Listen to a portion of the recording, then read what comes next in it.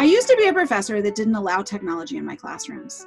Then last spring we went online and technology became the classroom, and I had to learn and change a lot.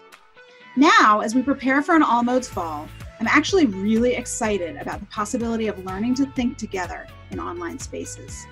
One thing I'm particularly excited about is something called live research. Live research is current events focused research that involves the whole class. It's inspired by ethnography, grounded in theory, and involves students going out to electronic public spaces such as Twitter to gather data. I think we're going to do a lot of thinking together through this method and other things that I'm working on, and it's going to be a great semester.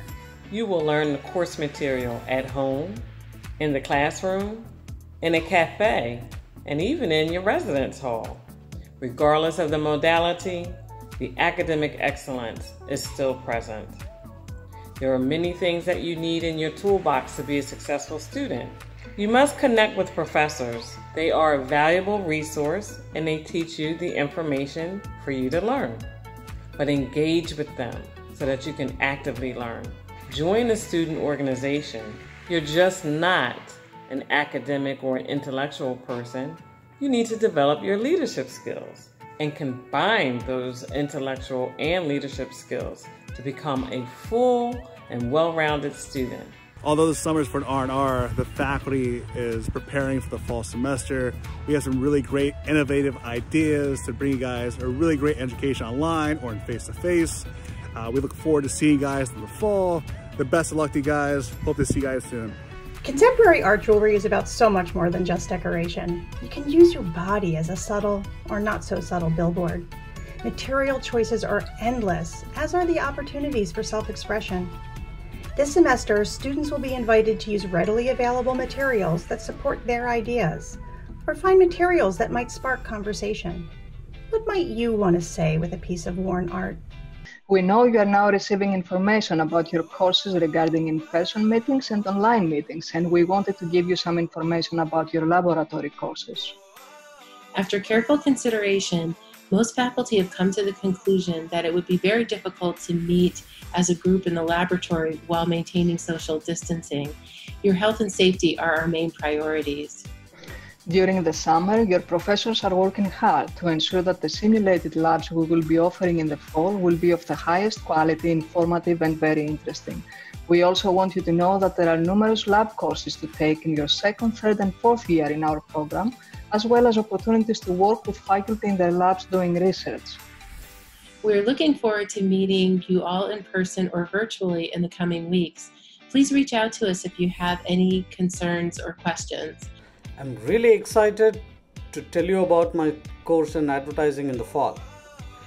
This course was always taught as a project based course centered around a core project.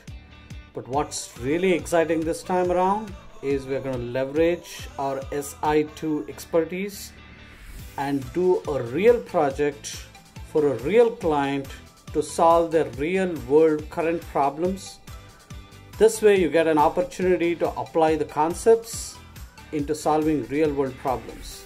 And this project, because we are leveraging SI2, is going to focus on the social slash non-profit sector. I'm really excited for the fall to begin. For my fall 2020 Parks and Rec Leadership and Power of Local class, we'll be connected in so many ways including the medium of visuals. An example of this is Photo Voice, which is an adaptive and empowering strategy that combines photography and grassroots social action. Students will have the ability to explore opportunities at the localized level and to see how change can happen in their own backyard. Our clinical year students have been unable to enter clinical settings, and so we made a virtual rotation website. On this website, we house case studies, simulation cases, and even a case writing uh, assignment. And then they are matched with faculty preceptors where they meet weekly and do role playing. In the role playing, each uh, student will both act as a patient and then act as a physician assistant where they will collect a history and physical on their virtual patient, and then as a team, we discuss assessment and plan items. We don't all have studios like I do. And so what? You have stories to tell, so let's get down to telling them. Time to disrupt the roadblock to your creativity. Bypass knowing all the answers by finding narrative in the questions. And most importantly, above all else, Get out of your way. To wonder, to be imperfect, to be authentic, wherever you are with whatever you have, it's time we supercharge your power, to, play.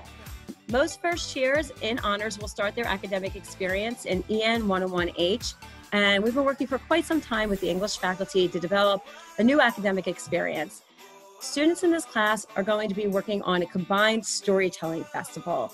They're going to be reaching out to community members, faculty, staff, um, alumni, community partners. So, in this particular experience, students are going to be able to use their own talents, their own strengths to find a way to highlight the various connections that they have when they're interviewing community. And they're going to showcase it in a way that feels important and real to them and for the rest of us to enjoy the experience of the Storytelling Festival as it grows over the course of the semester. We're really excited to bring this opportunity to our first years, and we can't wait to see what you do with it.